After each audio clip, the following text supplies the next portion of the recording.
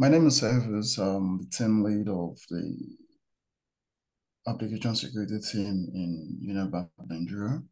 So currently we have um, Bobby Lin. Bobby will be taking us on the section on enhancing CICD security practice through the 3R approach. So this session lasts for about an hour. We have um, five to 10 minutes towards the end of the section, which will respond to questions. So I will appreciate if you can drop the questions in the Q&A session. At the end of the session, I'll call it or we give to Bob to to you, please. Thank you. Thanks, Elvis. Um, so Hi, everyone. Thanks for joining the session today. Um, so the topic will be on how we can enhance the CI/CD security practices uh, with three R's. So it stands for three different principles that we can take. So um, the quick introduction, uh, I'm working in Crypto.com and my main focus is on application security and DevSecOps.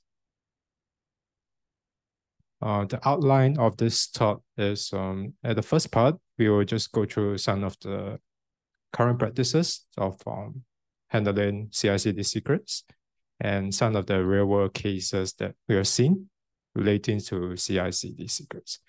And the next part of the talk will be more towards the three R's, which is the steps we can take to improve the CI/CD secrets management um, so it stands for three different, in there will be three different parts that I will go through. And finally, um, there will be a takeaway. So let's get started. Um, so the current practices of CI/CD secret management here, um, just uh, like a overview of how, in case you are not familiar with the CI/CD uh, workflow secrets. Uh, usually in a CI/CD process, there will be kind of like many components interacting with your CI interface. It could be an external CI/CD provider, or it could be a CI/CD provider provided by your VCS. And then secrets are stored uh, in different places, maybe in your testing tool, in some SaaS platform you're using, or maybe you are using a secret vault or with the VCS CI/CD providers. Uh, so whatever it is, right, that there are some factors that will affect the secrets um, level of security level of the secrets. So um, the first one is the duration itself, like how long can the secret be used? And then when can the secrets be used? And who can use it? Usually this involves uh, authentication and authorization, and then the location as well. Like where can you use the secrets? For example, you might perform some network restriction on where the secret can be used. And finally is the scope itself. What can the secret do? Uh, this three, uh, this five factors here will um, will affect the the risk level of your secrets. And then um, just to take an example here, so for example, like uh, the usual JSON web token uh, usually has a expiry date, and then it has the capabilities of performing some network restrictions and you can scope the JWT as well. But anyone that possesses JWT, they can actually use the secret. So there's no really like, uh, you can't really authenticate who is actually using this JWT and when you can use it. Uh, the problem comes with um, CI/CD secrets. There are different kind of um, inconsistent implementations of these security controls. So maybe vendor A has uh, duration and restrict who can use the secret, but they don't have any scope, or some of them have scope and network restriction, but they don't have their secrets are actually long-lived secrets. Yeah.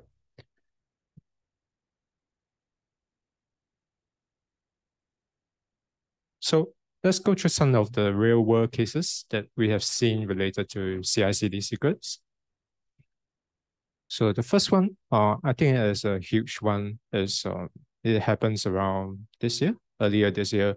So what happened is um, that there was an incident with CI. So somehow the hacker managed to um, steal the encryption keys and managed to, this encryption key can actually decrypt all the customer secrets itself. Yeah, because of this incident, um, many customers of CircleCI has to rotate the secrets urgently. Yeah.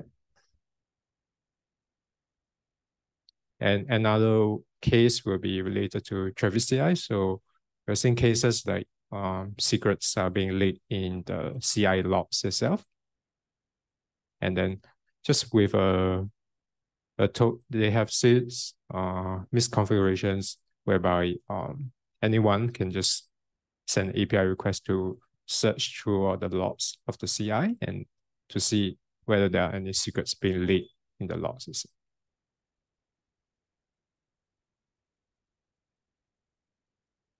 Another case will be um, sometimes it might not be related to another threat It's more towards the platform itself. So in this case, um, in if you're familiar with GitHub Actions, uh, this is called like a workflow. Or if you're using other CI tool, this is like your pipeline code. So what happened is um, there's something uh, related to this usage of this uh, input here that you can actually inject uh, malicious uh, payload inside to steal the secrets. Um, so you can see here uh, in this part here, uh, I'm trying to get the comment body of an issue in GitHub. And then I try to inject a secret. Uh, to I'm trying to inject a payload to uh, exfiltrate the secrets out of the repo itself. So you can see here, uh, this payload is passing and then uh, it's managed to execute this payload because of some. Uh, if you use this directly in a run itself, right, in GitHub Actions, you can actually inject, it's actually a command injection issue here. And then um, you can manage to see that the secrets are being exfiltrated out.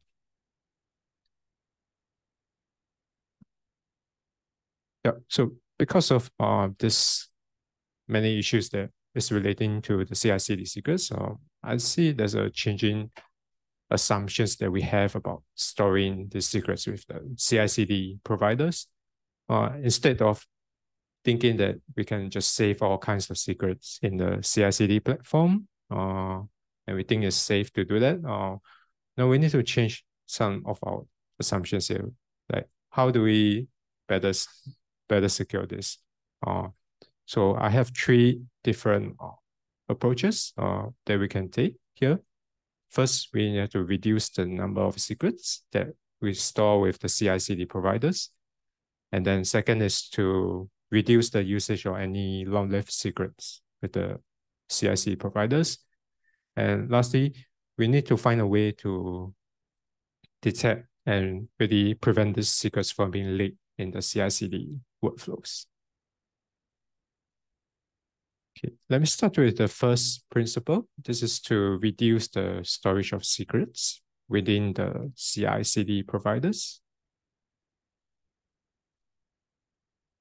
Uh, in the modern CI/CD workflows, we know that uh, they are quite capable. They are not just running builds and deploying uh, software.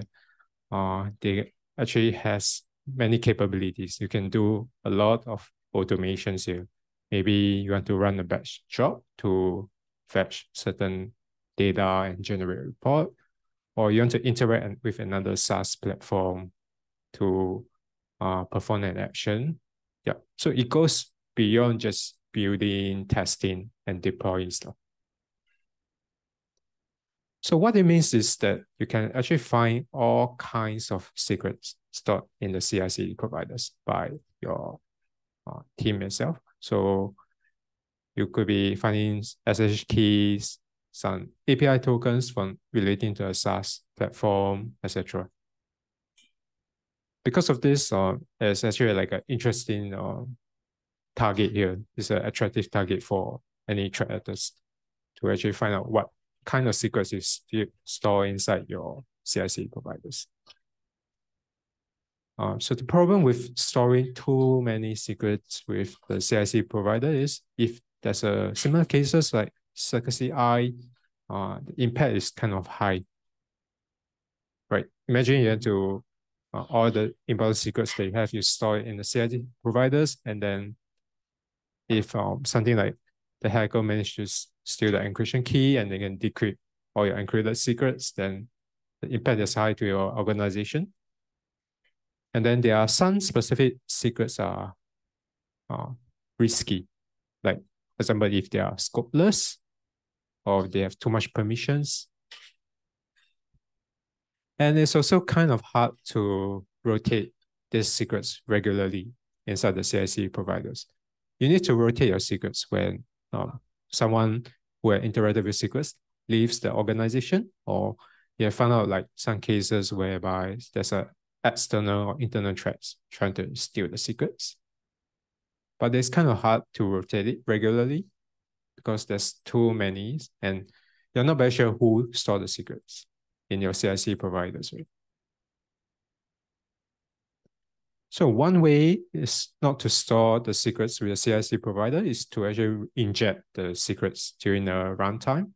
Um, there are examples like this, like you could use an external uh, secrets vault, and then during your CI, CI/CD workflow runtime, you inject the secrets in the environment variable. So this means you don't store any uh, secrets at rest with the CIC providers. You only use it when you need to, and you get the secrets from your secret vault. Uh, the downside of this is if you are new, uh, and a new organization, you can actually set up this and get your team to be familiar with it. But the downside, if you're existing organization, you probably have a some process already how people use the secrets. So to change the whole uh, organization to use secret injection, it's gonna be take some operations overhead for you to do this. So my suggested uh, approach is first, uh, you focus on uh, creating the inventory for all your secrets stored in your CI/CD provider first, and then based on that, you identify uh, what kind of risky secrets they are being stored in the CI/CD providers. So, what kind of uh, characteristics are there with uh, risky secrets? Uh, first, they are scopeless, or if you find some secrets is not granular enough in the scope, you might treat them as a high risk secret. Or any secrets that can retrieve from sensitive data from any platform. Maybe you are trying to generate a report and this token can retrieve from some sensitive secrets or sensitive data. And then uh, any secrets that can actually have a right access to somewhere to change something in your repo or deploy some changes, this is considered to be risky. And then uh, based on this um, identification of the risky secrets, you run a custom workload outside of your CI/CD provider. So let me go through uh, some of these issues here. Our uh, first part is relating to the scopeless token. So I think it's an updated security design to not to have any scope with the token itself, but it still exists in some legacy tools. So some of them have a very simplistic scope as well. So whatever uh, the user generate the token, that token will have the permission of that user. So imagine this your user is an admin. So that means that this token will be kind of admin token. Right. You can't change like this token to have only read access, no write access. So scopeless token is one of the problem. Another problem is uh, sometimes there's scope with the token, but it's not granular enough. So uh, for example, just a GitHub token, you can probably restrict this token to have uh, read access or write access to a particular repo. So they have something called a fine grain token, but you can't really restrict it to say, oh, you, this token only can be used to write to a single file. And then uh, there's also no way to restrict it to say to write to a specific branch only. And then doing IP restriction with that particular token is hard. So how do we handle um, this kind of scopeless or lack of granular scope issues? Um, my suggestion is to, you need to build your own uh, on-demand service that uh, allow your CI/CD workflow to call the service. Inside this service, you use uh, you need to write some custom code ready to limit what kind of actions can be done with this using of these secrets. And then if you have some customization with your service, you can actually add IP restriction where this workflow can be used. So just let's look at the example here. So we have a CIC provider and a team is trying to run a workflow. So are inside this workflow, uh, they made a call instead of running an entire action inside the CIC provider, then that's you need to store the secrets here. Now you store the secrets inside a vault itself, separated from your CIC provider. And then the workflow will just make a call to this uh, temporary workload. So one of the way you can do this is using, if you are using AWS or any cloud provider, you can use their server, serverless workload.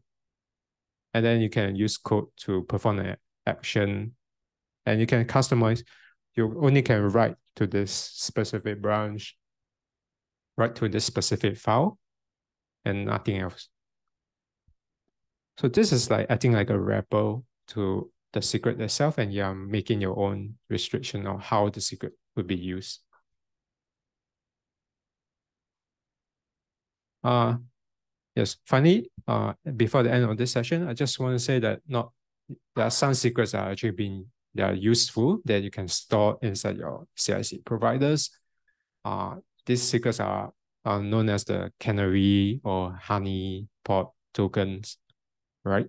Um, so what it does is when when you try to store this token in some strategically in some repos or some organization secrets, if someone try to use it, uh, you can detect some possible intrusion, someone that's an external threat or internal threat.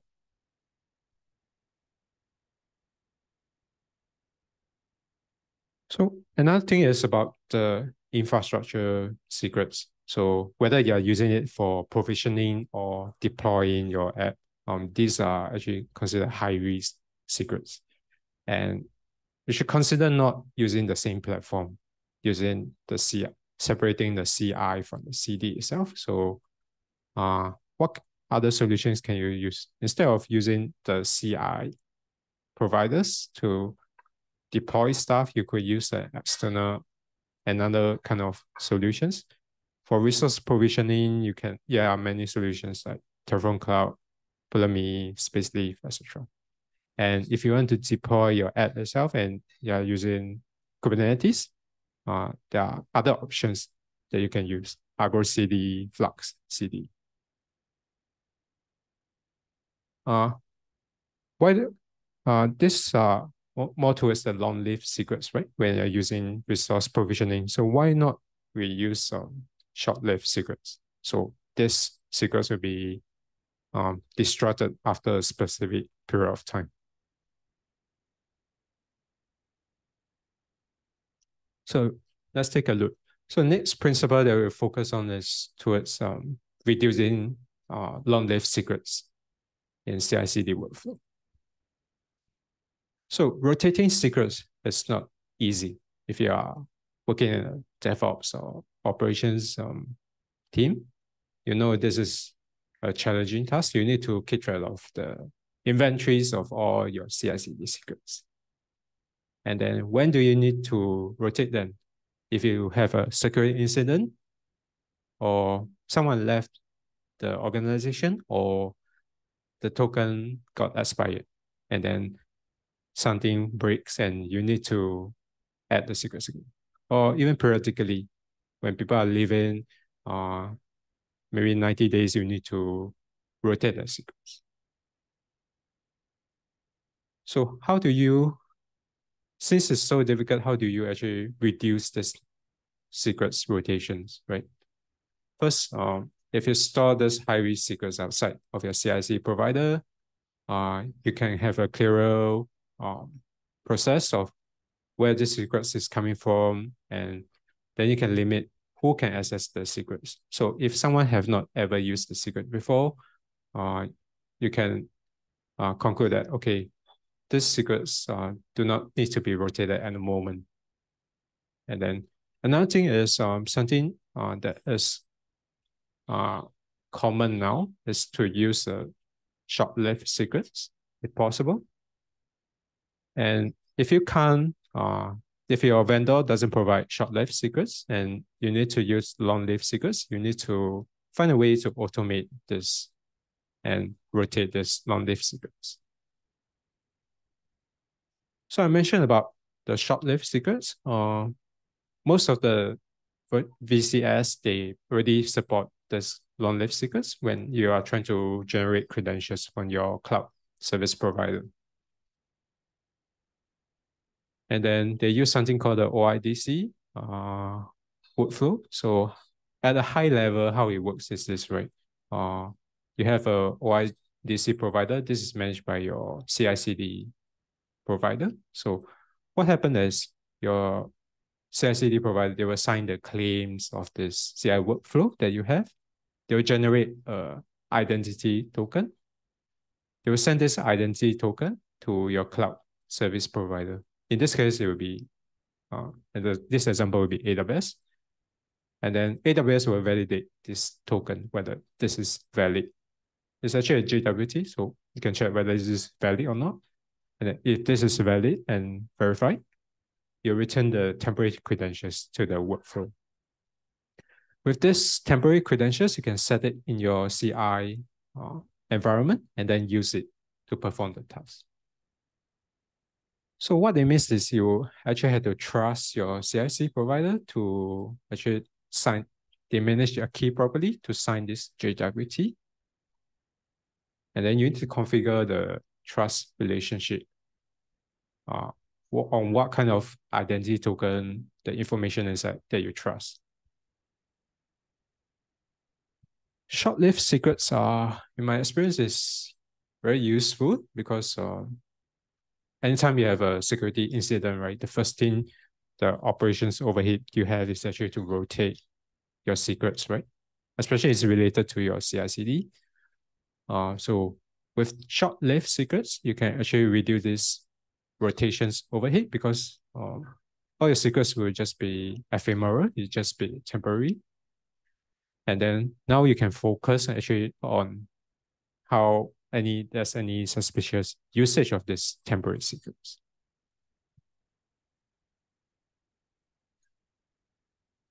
So some of the ways that uh, most of the VCS implemented on the OIDC authentication, most of them you can restrict uh, by the repo itself or by the branch itself.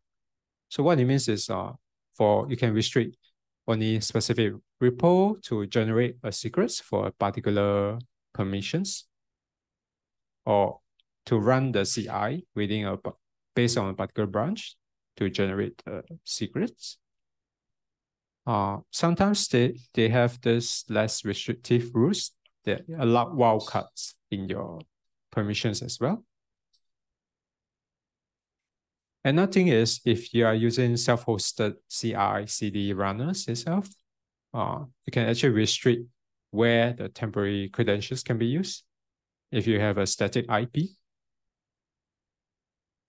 So let's take a look at this. Um, this is uh, IAM role, the trust policy of IAM role containing uh, some of the OIDC configurations with GitHub itself. So in this case, uh, you only allow this uh, role to be assumed by uh, inside a repo itself in an organization. And then here we added, you can actually add something like um, to restrict that this role can only be used in a particular runners, right? Especially if you have something um, that's a high risk kind of workflow, you should have some sort of restriction on the IP as well, not just uh, setting this uh, this branch uh, restriction or this repo.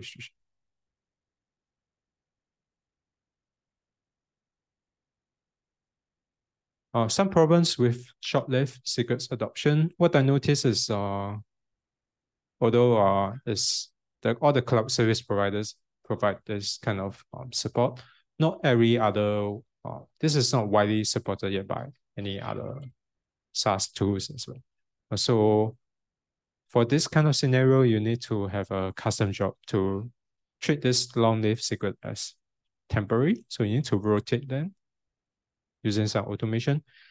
And then OIDC role is not without flaws. So sometimes there can be misconfigurations. So not many, um, so I mentioned, um, so all the cloud service provider allowed this temporary short-lived token, but many of the CI tools uh, right now, the when you're using for build, scanning your code, testing your code, itself, they are still using long-lived secrets. Right. So it's a problem here. So you need to rotate these long-lived credentials regularly. So one way is uh, periodically you need to refresh these long-lived secrets.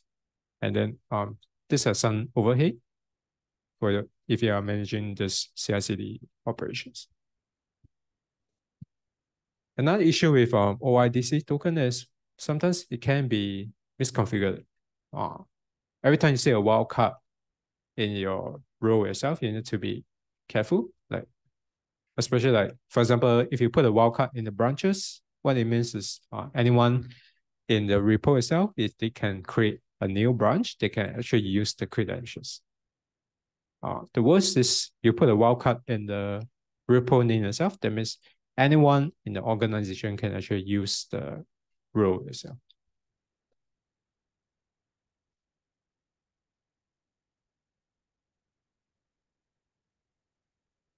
Okay, uh, let me move on to the last part.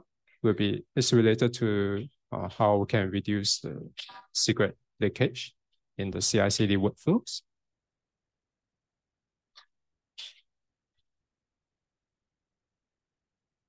Uh, these are the some of the sources that we have um, know about where secrets can be leaked. So it could be inside your Git repositories.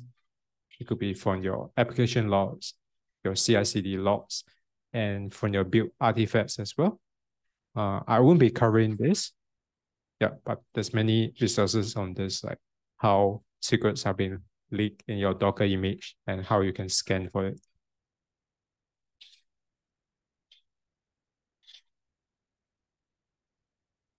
Uh, the first thing is to prevent secret leakage in your Git repositories. I think this is uh, we are heading in a positive directions with regards to this issue. Um, currently, there are many specialized SaaS tools for scanning secrets. So uh, they're not just like scanning for keywords and then say you found a password because there's a variable name password. So it's more sophisticated to scan to detect whether this is a secret or not. So because of this uh, smarter checks here, there are less false positives if you use this specialized SaaS tool to scan for secrets. Another thing is the known secrets pattern. So if we know that this uh how the secrets might look like with a particular uh particular patterns, like it starts with a particular pattern with a particular prefix and the suffix is um, maybe 64 characters long, etc. If we know this uh, pattern, it's easy for us to detect. secrets and build tools on top of it. So many of the SaaS specialized SaaS tool that scan secrets, they already utilize this. Another thing is the Git hooks itself. Uh, so uh, let me go through this. So inside your uh, Git workflows itself, there's many ways that you can prevent secrets from being leaked to your repositories. The first part here uh, is at the pre-commit hook itself. So this is before you you try to make a commit, and then before you make the commit successfully, successfully, you can run a secret checks here. So I call I, I would say this is like a guardrails for your developers, DevOps engineer. It's a guardrails because uh you can't really control this by here. So this is used by the engineers itself to make sure that their due diligence is not to leak the secrets in their comments. And then they can fix the issue early before they try to make the commit. If uh, somehow this process is bypassed in the pre-commit itself and they try to push a secrets, then there's a pre-receive hook that you can run to block the secrets. So if you are using on-premise um, on-premise VCS, you can actually run your own pre-receive hook. So what it means is you scan the secrets here in your push, and then if you find any secrets at this stage, you can actually block the push. This way, uh, you can't push any secrets to your repositories. Yeah, because of this two process, one is to prevent the secrets early, and the other is to uh, block the secrets from being pushed. Uh, this can help to reduce number of secrets being leaked in your Git repositories. Uh, one thing you need to take note is uh, you need to be careful of any blind spots that you have. So hence, if you run your secret scanning, Git hooks, etc., and then uh, you focus entirely just on your organization, you might miss out secrets that are being leaked outside of your organization, maybe in some public repos. So this is a challenging issues. Uh, there are so many repos and you need to monitor all your developers and your uh, DevOps team, whether they create any public repos or not and then whether the repos contain secrets. This is kind of challenging. Uh, I think there are some commercial tools that you can actually explore. They are they are specialized. They have the data. The data that you need to do this task of monitoring is kind of huge, but they have this data that you can use to monitor who are leak, potentially leak secrets in the public report. So beware the blind spot. Do not just think about the issue being involved in your organization. You need to see a whole picture in the public repos as well.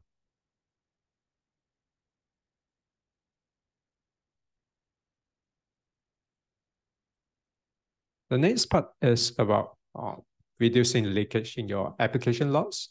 Uh, this might seems like it's related to application security, but uh, I think it's at, at a CI/CD process, you should uh, detect this kind of issue as well.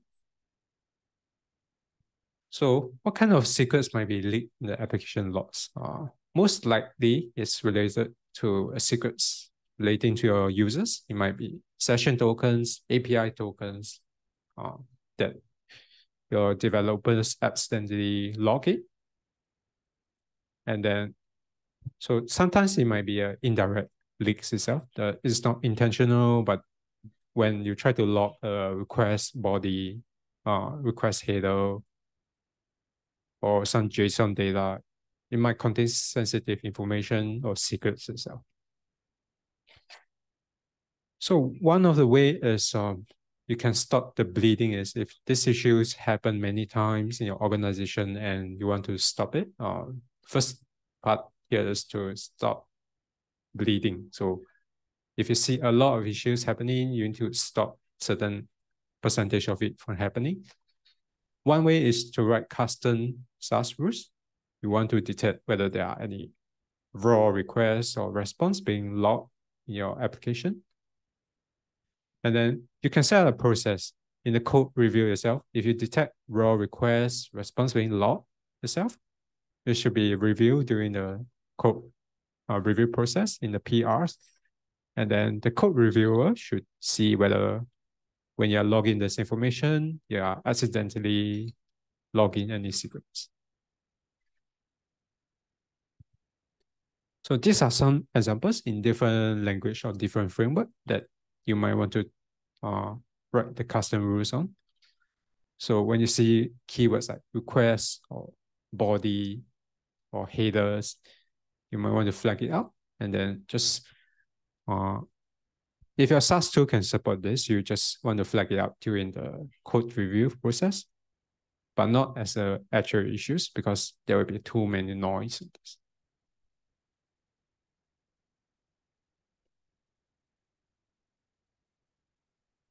Okay, the third part here would be relating to how we can reduce secret leakage in CI/CD logs.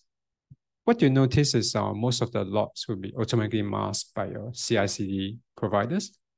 Uh, this is okay to prevent issues like if you try to echo out that secrets in your logs. This will be masked and you can't see the secrets.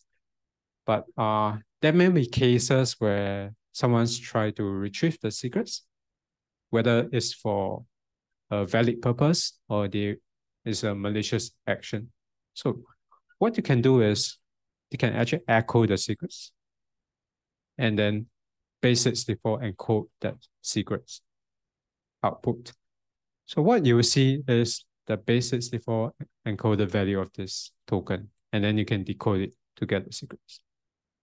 Right. So this actually bypass the masking kind of uh, checks that CI/CD providers provide.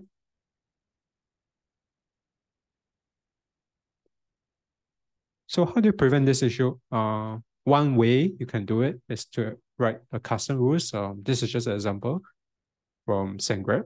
Um, you can write a custom rules on this. Like every time you see the keyword token and try, someone tries to use a base uh, 64 or base 32 encoding, you should flag it out as an issue.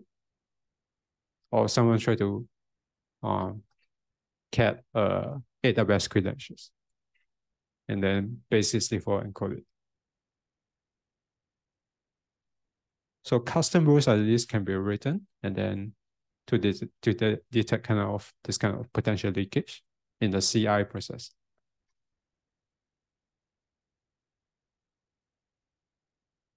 So how do you do it uh, in a safe way if you really need to retrieve the secrets? Uh, there are cases where you need to retrieve the secrets for maybe someone do not know uh, what's the secrets value and they want to use it in another repo or someone left the organization and they want to debug that secrets. So if you have valid reason to retrieve the secrets, uh, first thing you can do is uh, base 64 encode it, but after that you encrypt that secrets.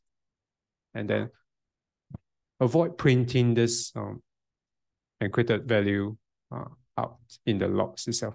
Send it to a out of band service it can be a Lambda function. If you have Burp, you can use a Burp collaborator. Yep. And then avoid printing this value out because uh, you don't have to print it out. Every time you print out the value, if you someone managed to get the key from you and they can decrypt the value.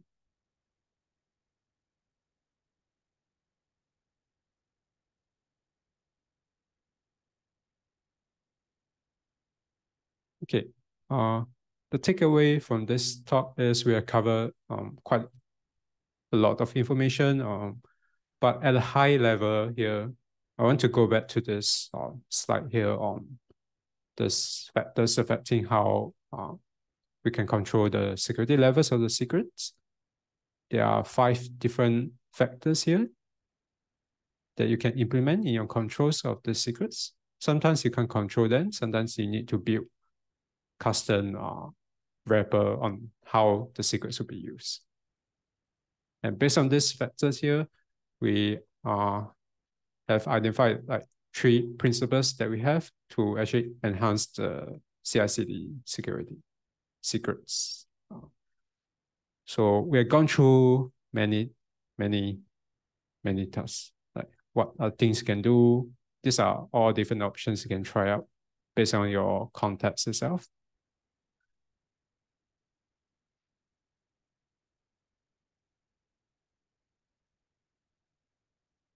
Okay, this is the end of my talk. Thanks, everyone. Uh, Great job, Bobby. This uh, secrets management sounds like it'd be a really good OWASP project to have, by the way. Um, there's a couple questions, and uh, uh, let me ask you some.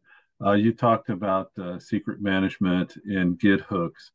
Do you find in your research that there are more uh, uh, issues with uh, secret management and the client side hooks or the server side hooks?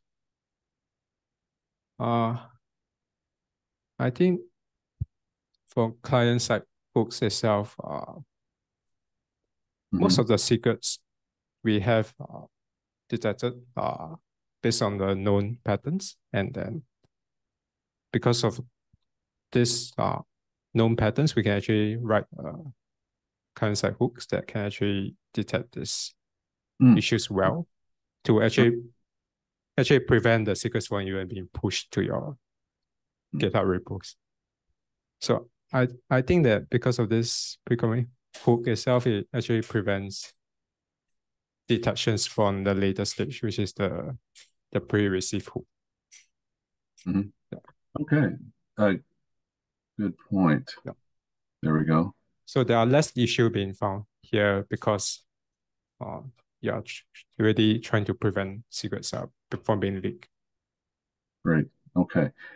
So next question. So um, with a short-lived secret, can you help us understand how you would define a short-lived uh, secret? And really, is there some type of recommended lifetime? Uh, in most cases, it will be depending on the CI/CD workflow. But I don't think it will take. If your workflow takes more than one hour, then you probably don't want to run it in your CI/CD workflow. I think it's not actually a suitable way to run it. Okay. And then so usually it's less than one hour, but if you have some cases, unique cases, you need to run more, more than one hour, you can actually adjust that that short-lived secrets. But if, if a secret can last more than like a few days, a few weeks, a few months, it's probably not considered short-lived secrets. Mm-hmm. Because you need to uh every time you try to you need to rotate a secret, it's probably that it's not a short-lived secret. Yeah, I would say that's true. Uh, often, I think uh, enterprises will use their uh, uh secrets from their uh, uh, web application security tools, SaaS tools, or whatever, and just leave that token in there, and uh, that could be uh, problematic if uh, with minor changes around that.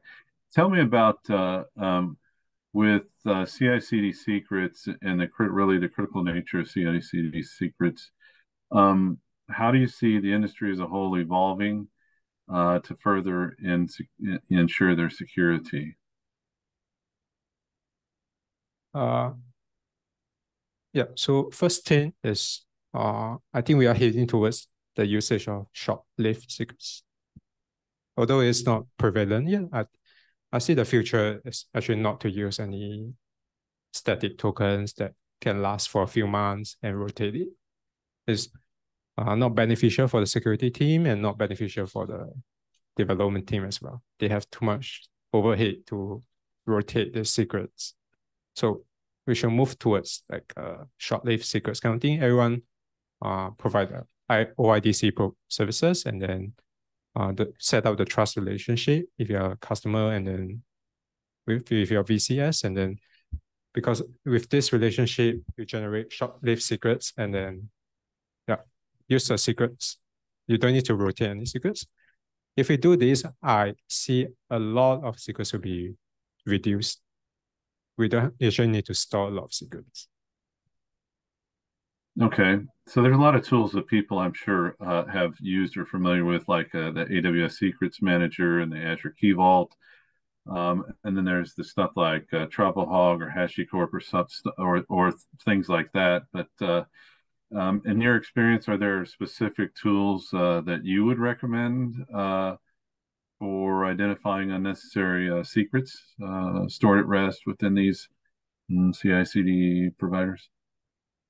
Uh, I think it requires you to create an inventory first to find out what kind of secrets you already have. Sometimes you might get surprises why uh, particular team store the secrets in this repo and you need to have a inventory first and then you find out is this secrets risky first? And then I don't see there's a really a tool to tell you whether the secret is risky or not yet. Yeah.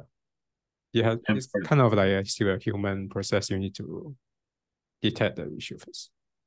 I wondered if you saw that. So, um, so since there really isn't an easy button tool for detecting these types of uh, secret leakage, then uh, um, what what are the ways that you would recommend for our audience um, to we're doing good on time. What are the re recommended ways that you would, what are the ways that you would recommend to our audience uh, to get started uh, with uh, applying the principles that you just talked about? Yeah. Uh, okay. There are many ways, but um, first thing is I think you need to find out uh, what kind of secrets you have maybe you don't really have a lot of secrets being stored in your CI/CD providers, then uh, your risk level is kind of medium or low. But if you have a lot of secrets, then you need to find out what are the dangerous ones. Like I mentioned, is uh, scopeless tokens, and then who is using it. And then after you detect uh, the risky tokens, then you need to consider uh, building uh, if you can't build your custom code yourself to to to control how the secrets will be used, then uh need to find a way to see where you can run in a restricted way inside the CI/CD workflow, and then how you set up controls to make sure everyone wants to use it. Then it needs to go through an approver to approve that workflow before you can use the secret. And then okay. if you can uh try to if you have any you are still using any long lived secrets with a cloud provider, you should really change it to OIDC rules.